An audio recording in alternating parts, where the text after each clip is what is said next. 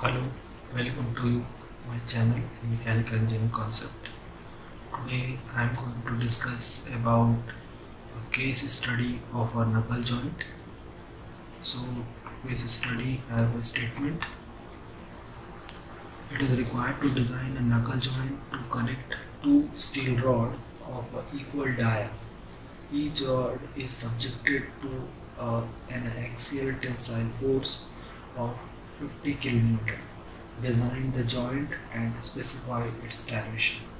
So in the in this statement, we have load. We have given to us a load, tensile load of a 50 kilonewton. So to design a knuckle joint, first we need to select a material. So in step one,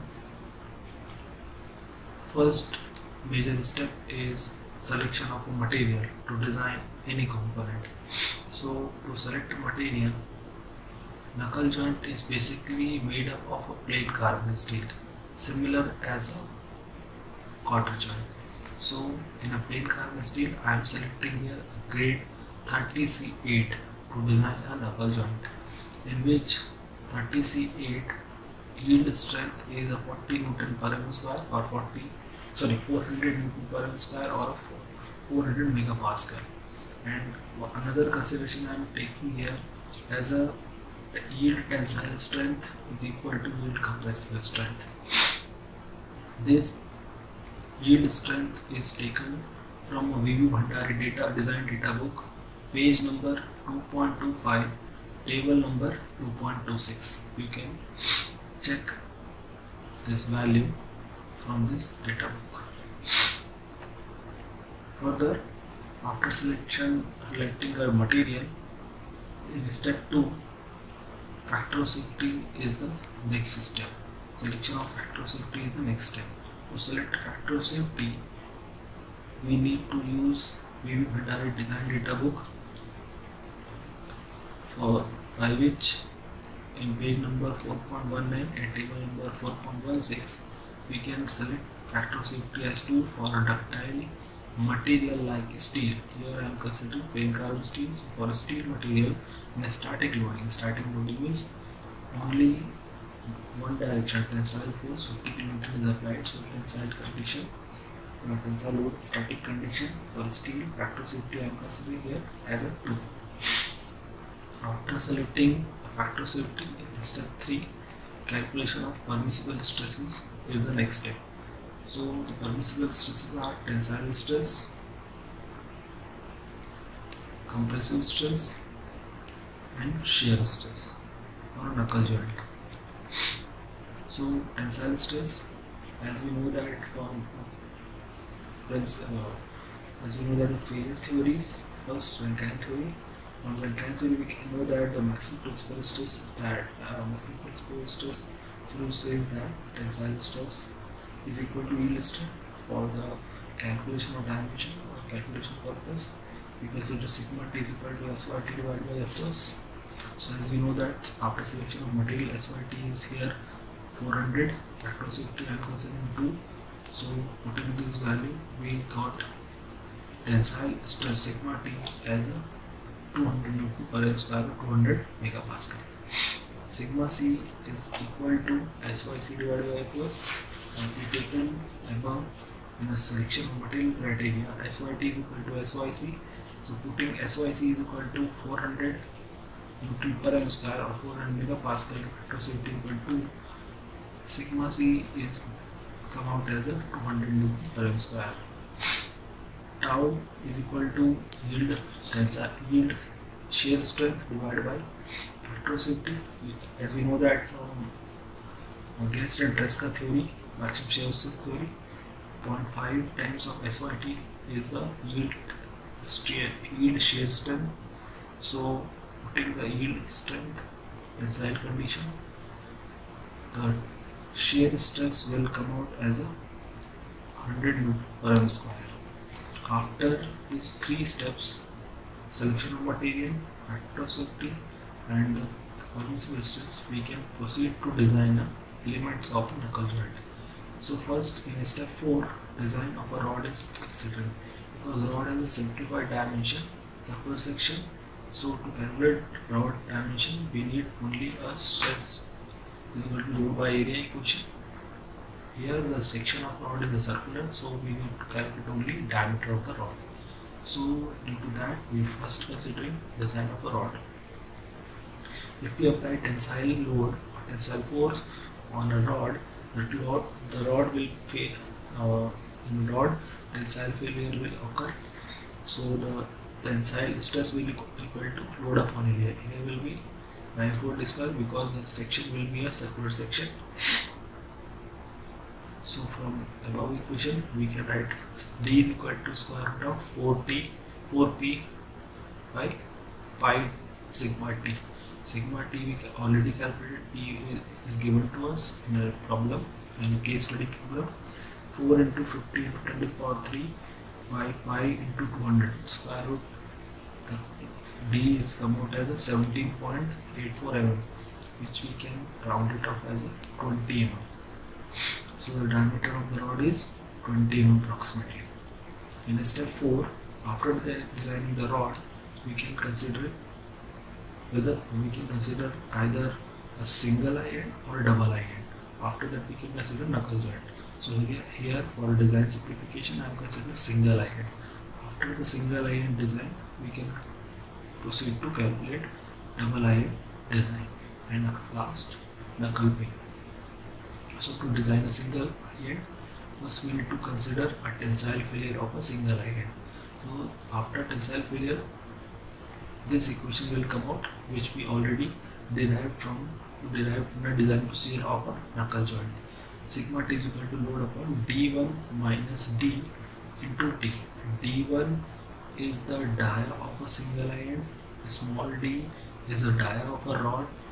Or we can say that uh, hollow section in which knuckle pin will fit it and t is the thickness of the single eye end so here d is known to us p is known to us sigma t is known to us but d1 and t is not known to us. So to calculate two unknown, we need two equations. So here I am considering empirical relation T is equal to 1.25 times of diameter. So 1.25 times of 20 is equal to come out as a T is equal to 25 mm. Putting this T 25 mm into this equation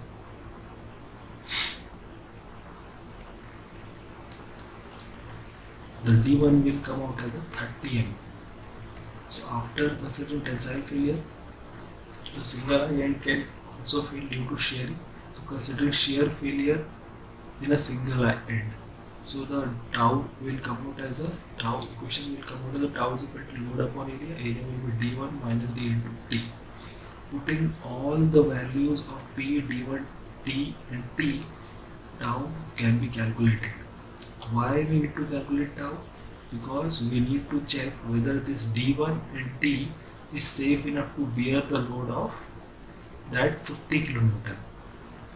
If it is safe, then the permissible stress is more than the induced value or the permissible stress which we calculated with the help of material strength and factor of safety is more than the induced value due to load divided by cross section area in which the load is applied. So putting all the known values in this left hand side, right hand side 50 to 10 power 3 is P, D1 is we have already calculated 30, D is calculated in step 4 diameter of rod 20 and T is the taken from empirical relation 25 calculating tau is come out as a 200 Newton per m square, which is more than the permissible value. Tau is 200 Newton per m square, which is more than the calculated value of 100 Newton per m square.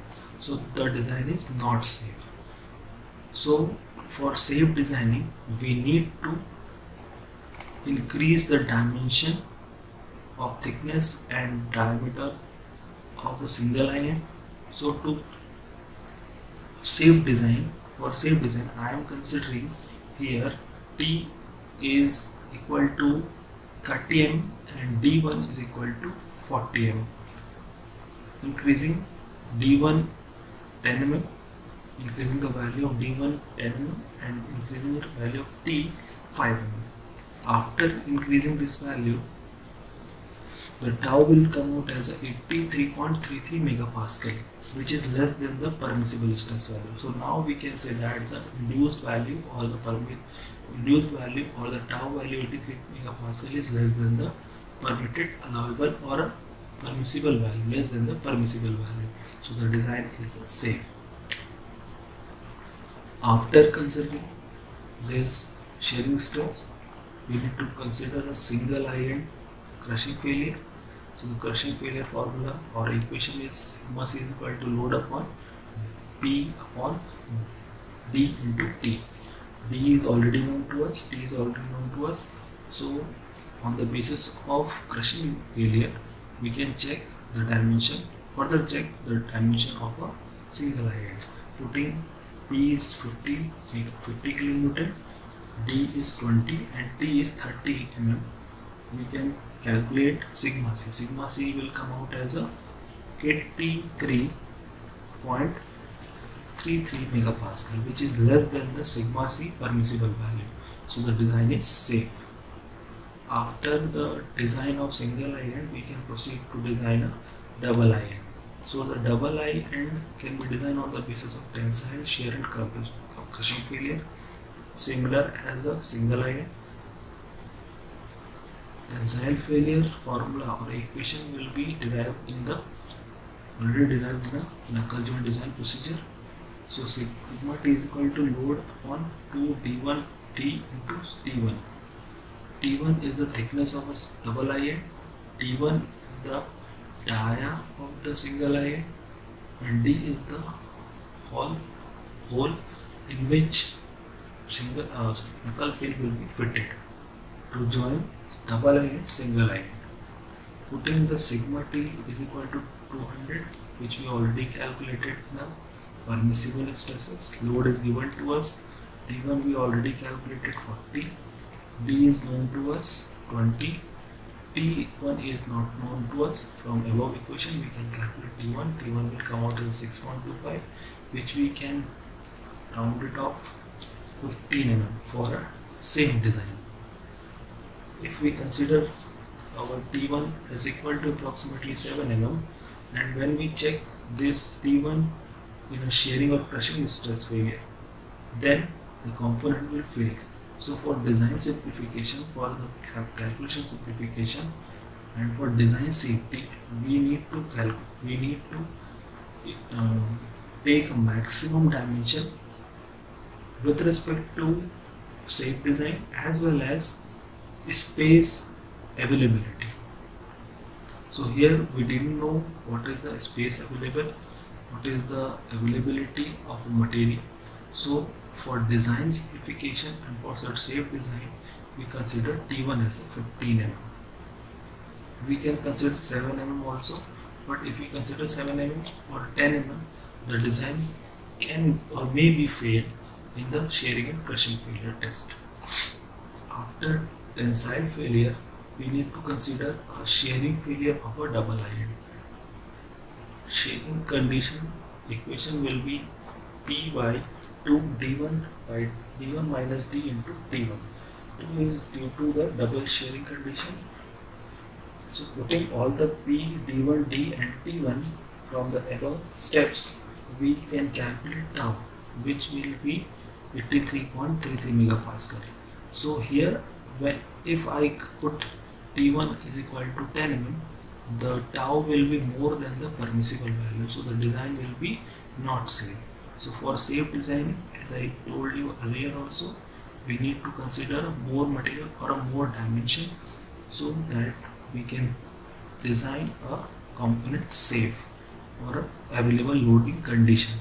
So sigma c sorry tau is equal less than the permissible shear stress so the design will be safe in the step number 7 in step 8 we need to consider the crushing failure of double eye end similar procedure is followed in the double eye end but difference is that equation will be have a equation will be, will be equation will be having a multiplied of 2 multiplication of 2 resting area will be multiplication of 2 because here I am not considering double uh, single eye end here we have a double so sigma c is equal to load upon area further this sigma c is used to check the dimension of a single double ion whether it is safe enough to bear the load so load upon 2 t into t1 load is given to us d1 is d is already we calculated t1 is known to us 15 mm d is 20 mm putting all these value we can calculate sigma c is equal to 83.33 megapascal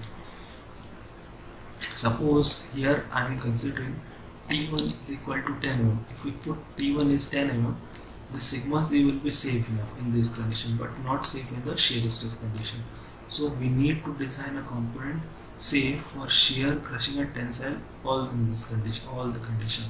So the component can bear the load with respect to shearing failure, crushing failure, tensile failure. So that's why I'm considering that T1 is more than 10 mm, 15 mm I'm considering. Sigma C will be come out as 83 megapascal which is less than the permissible stress so design is safe enough to bear the load of 50 kN for the for the calculated value of dimension of double ion. After designing of double ion, we need to design a knuckle knuckle pin in a step 9. For to design knuckle pin, we need to consider a knuckle pin failure. So knuckle pin can fail only due to the shearing failure. So shearing failure of pin can be considered tau is equal to load upon area. So we know that the knuckle pin is has a circular section. Circular section. So it has a diameter of d approximately equal to the diameter of rod. So d is the diameter of rod which we already calculated.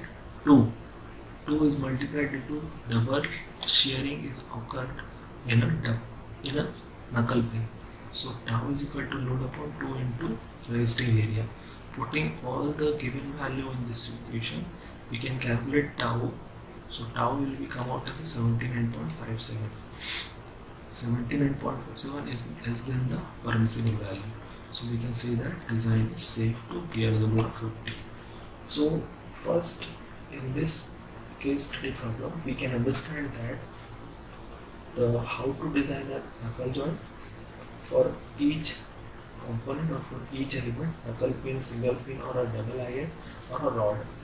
So one question one point i want to be clear is that uh, everyone will confuse that when we need to check or when we need to calculate so suppose in any condition in tensile condition first we basically consider tensile load tensile failure condition if we consider tensile failure so in a tensile failure condition load upon area resisting area will be we will not know will be not known to us. So putting sigma t load value we can calculate resisting area.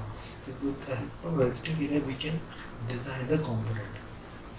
Further moving a, shearing or crushing formula if we know the resisting area then we need to check when we know the resisting area then we need to check the stress for designing the component whether this stress is less than the permissible stress or more than the permissible stress. If the stress is more than permissible stress, then the component will fail. If the stress is less than the permissible stress, the component will safe to bear the load of which which we uh, which uh, is given to uh, us in a problem or a case study. So this is the basic concept I want to discuss in the design procedure of a knuckle joint. I hope you understand all the basic steps and uh, procedure to design a knuckle joint. If you have any query then please comment below this video and don't forget to subscribe my channel.